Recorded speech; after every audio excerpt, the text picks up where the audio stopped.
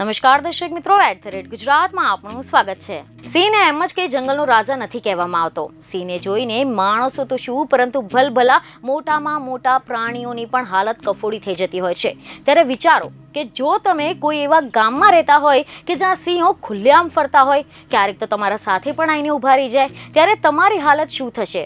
જો કે સાંભળવામાં જ ખૂબ જ ભયંકર લાગે છે, પરંતુ હકીકતમાં આવું જ એક ગામ છે કે જ્યાં સિંહોના આટા ફેરા જોવા એ ત્યાંના સ્થાનિકો માટે સામાન્ય બની ગયું છે.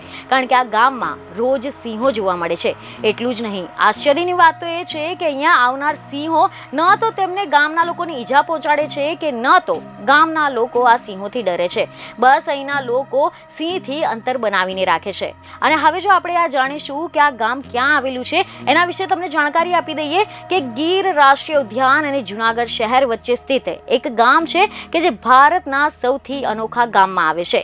જેમાં નેશનલ પાર્કની પાસે હોવાથી આ ગામમાં હંમેશા સિંહોની અવરજવર રહે છે. અમે વાત કરી રહ્યા છીએ સાસણગીર ગામની કે જે એશિયાઈ સિંહોના આવાસનું પ્રવેશ દ્વાર છે. અને રિપોર્ટ અનુસાર જાણવા મળી રહ્યું છે કે નેશનલ પાર્કમાં પાંચસોથી વધુ સિંહ છે અને આ જગ્યા લુપ્તપ્રાય પ્રજાતિઓ માટે એક મહત્વપૂર્ણ સંરક્ષણ ક્ષેત્ર છે. અને જો તમે ગીર નેશનલ પાર્ક જઈ રહ્યા છો, તો તમારે એકવાર સાસણગીર ગામ જરૂર જવું જોઈએ. અહીંયા જઈને તમને માલધારી સમુદાય, તેમની સંસ્કૃતિ અને સૌથી જરૂરી તે જાણવા મળશે કે એના લોકો આ સિંહો સાથે કઈ રીતે રહે છે. તમે જણાવી દઈએ કે મીડિયા ખબરો અનુસાર સાસણગીર એ સિદ્ધિ સમુદાયનું ઘર પણ છે. આ સમુદાય ભારતનો અદ્વિતીય સમુદાય છે, જો કે આ કમ્યુનિટીના લોકો દક્ષિણ પૂર્વ આફ્રિકાના બંટુ જનજાતિના વંશજ છે.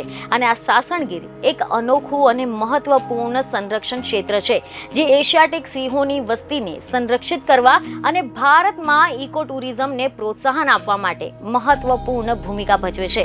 અને આ ગામનું આકર્ષણ અહીંનું ગીર નેશનલ પાર્ક છે, જ્યાં જવા માટે તમારે પરમિટ લેવી પડે છે. આ પરમિટ સવારે અને પછી બપોરે લિમિટેડ રૂપમાં આપવામાં આવે છે. બીજને સાથે ફરી મળીશું. ધન્યવાદ.